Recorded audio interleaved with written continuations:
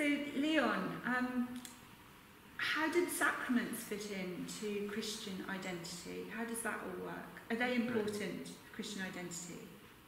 I, I would say they are most important. Right. Um, at least for many Christians, if not the majority right. of Christians. Um, if you look at baptism, it is the entrance right into the community. Now, how important can it be Yeah. to belong to the community? Important can it be then to have that rite performed, whether as an infant or Sure. as an adult? That's not that's not a discussion there. Um, when you look at the Eucharist or Holy Communion or the Lord's Supper, it's it's it's it goes by different names, but it's it's basically the same thing. Um, I would say that the Eucharist, one- one of the things that the Eucharist does is expressing the unity between Jesus Christ and the believers.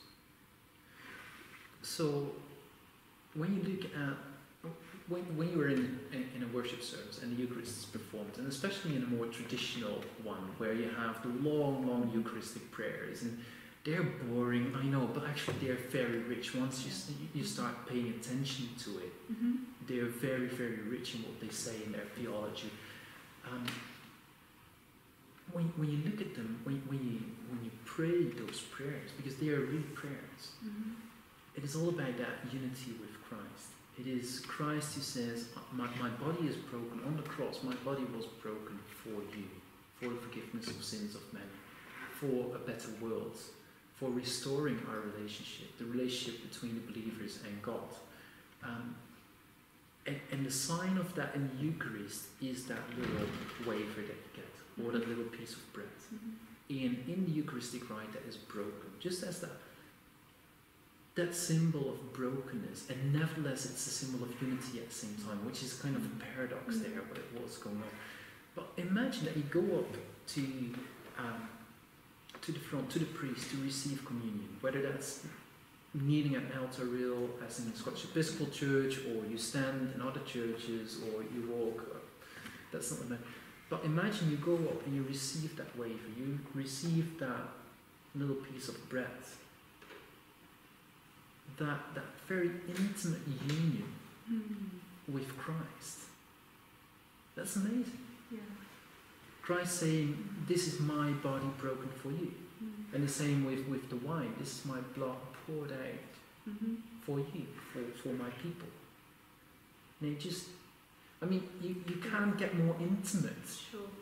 than tasting that, than feeling that, than smelling that. All of the senses are involved in the Mhm. Eucharist. hmm So I think for Christian identity, for many people, that will be very, very important to have that kind of intimate relationship with Christ. This, this is just one of the, of the many aspects of the Eucharist, of course, but I, Yeah. I think in terms of Christian identity, in terms of Christian spirituality, I would say this, this kind of intimacy that's happening in the Eucharist is Mhm. very important. So, is this what John's Gospel was trying to get at in the image of the vine? That's a good question, and, and, and I would say yes. I would say yes, although I'm not sure whether John has exactly the same Eucharistic rite in mind, Okay. because the way we do it now is, is admittedly quite different from Yeah. 2000 years ago. hmm But nevertheless, John was speaking all the time about that unity, that participation in Christ. And that's is- the Christian identity Yes. in. Yes, it's being in Christ, as, as, as the Apostle Paul will say. And, and Yeah. John has all those in, images of the vine, I should say, and the branches, and, and, and all those intimate images of, of, of that, that close unity between the Christian. And, and Paul And has God. that image of the church is the body of Christ. Yes. So both Christian identity, both sharing in the identity of Jesus, but also sharing in the identity of the body of the church. Mhm. So those are two two different things, aren't they? Yeah, but, but that's why I say the Eucharist. Yeah. What I just said Yeah, is, is one aspect of the Yeah. of the Eucharist. There are many many other things to say. I mean, it's, it has also an ethical component. If if you are so close with Christ, well, if, if you if you declare by doing that ritual, performing that ritual, taking part in that, taking part in the bread and the wine, if by that you say I'm a follower of Christ, then that has huge ethical implications. Sure. That has huge implications for how I then treat my neighbor, Yeah. even my enemy, how I love God, Yeah. through how I Mhm. relate to my neighbor. Right. Um, in, in if, if you look at the Eucharistic rite, just before that whole Mm. prayer, that long prayer, Mm, which can be boring. I mean, despite all my language barrier, intimacy, and you know, I'm enthusiastic about this. Um, but I also realise that sometimes it can be quite boring. But just before that long prayer, in many churches you will have the sharing of the peace, Yes, as it's right, called. yeah. So people stand up, shake hands, and wish each other, in the traditional language, Mm. the peace of Christ be with you. Mhm. Now, how on earth can I wish you peace if I have a conflict with you and then go Mm. and have that intimate communion with. Christ? Mm. It's, it's impossible. Mhm. So that rite, that Eucharistic rite does a whole lot, including that moment of Yeah. peace. And So, so there there you have your ethical, yeah. ethical implications. Yes. That's so interesting. So that's baptism, that's Eucharist, or Mhm. like Lord's Supper or Mass, whatever you want to call it. What are the other sacraments? Well, those are those two are recognised by all churches. Okay, so right. some churches. Well, okay, almost all. all Okay. churches. The Quakers, for example, say we don't have sacraments because Okay. everything, the whole world is sacramental, so we don't need to have that kind of intensification there. Uh, but most churches, I would say, have those two sacraments, baptism and Eucharist, which are sometimes called the Dominical sacraments. Dominical meaning the Lord, the Lord instituted them. So Jesus actually said, Right. you need to baptize. You need to uh, remember me in this in this meal, the Mhm. Eucharist.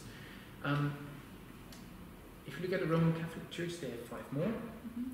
and if I know them by heart, they are uh, ordination, they are uh, marriage, they are uh, penance, confirmation, and anointing of the sick. Right? If you look at the Greek Orthodox Church, their theology has, has, has uh, developed very differently in the East and in the West. Um, the Eastern Orthodox Church would refuse to say this is the number of sacraments. Right. There may be many more. And if you look at, at the church tradition, it was only until the 13th century that there was no fixed number of sacraments. Right. So, and, and nowadays in, in, in modern day theology, you see a kind of movement back to maybe we should talk about a sacramental worldview. Maybe there is m- much more sacramental Mhm. than just baptism or Eucharist Okay. or. But would you say that baptism and Eucharist are the two key ones for Christian identity?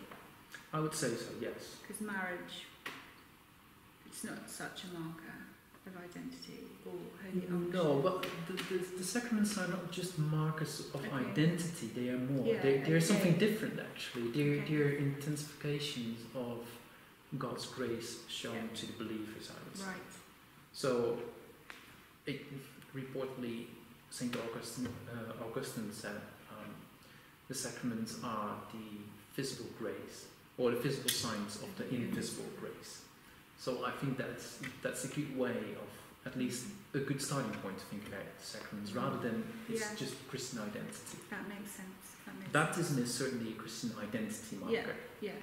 but that's not necessarily It's true in the same way yeah. for, for the other sacraments, I would say. Yeah. Thank you so much. That's a You're welcome. brilliant summary for us. Really You're helpful welcome. and so clear. Thank you. My pleasure.